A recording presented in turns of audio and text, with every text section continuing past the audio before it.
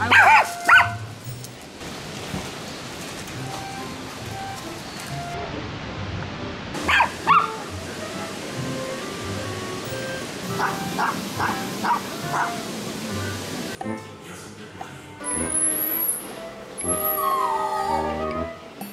이제 아빠 어디 갔어? 아.